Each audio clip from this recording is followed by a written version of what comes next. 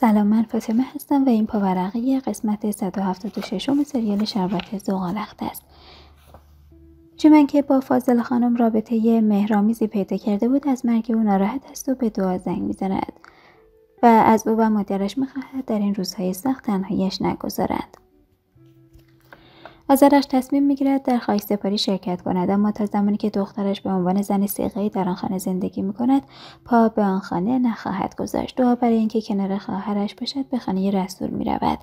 عبدالله هم که به اسم سفر خارج همراه شعله به سر می‌برد به خانه اش برمیگردد. در خانه رسول گرکم از مرگ مادرش بیتاب است و رسول از او می‌پرسد وقتی مادرش به او نیاز داشت چرا نیامد؟ گرکم جواب می‌دهد بیمار بود و نتوانست بیاید. نیلایی که دل خوشی از گرکم ندارد می‌گوید اصلا هم مریض نبود بلکه مست توی رخت خواب افتاده بود. گرکم از او می‌خواهد گورش را گم کند اما رسول با شنیدن این جریان با خشم سیلی محکمی به دخترش می‌زند و فاتح ناراحت از رفتار پدرزنش با او درگیر می‌شود و از گرکم می‌خواهد زود آنجا را ترک کند.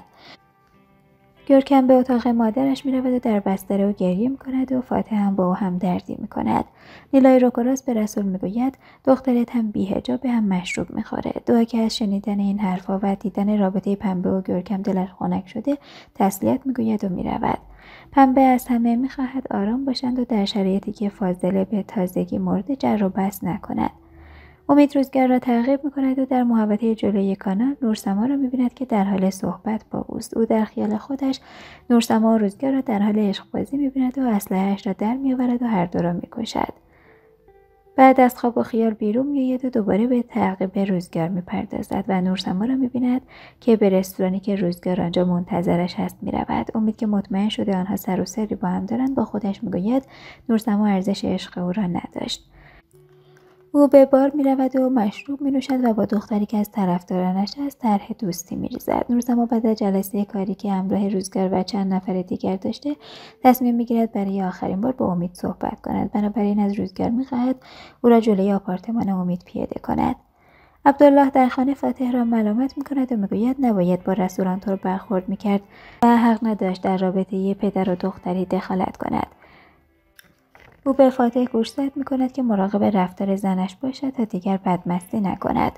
دو خوشحال است که عروسی مثل گرگم نصیب پنبه شده تا حال او را حسابی جا آورد. آمر هر وقت اسم گرگم وسط میآید رنگ صورتش تغییر کند و آزرخش که متوجه این موضوع شده می‌پرسد آیا مشکلی با زن فاتح دارد آمر تلاش می‌کند عادی رفتار کند و چیزی بروز ندهد و می‌گوید حتی گرکم را نمی‌شناسد ولی همیشه نگران از رابطه یک شبه او و گرکم برملا شود.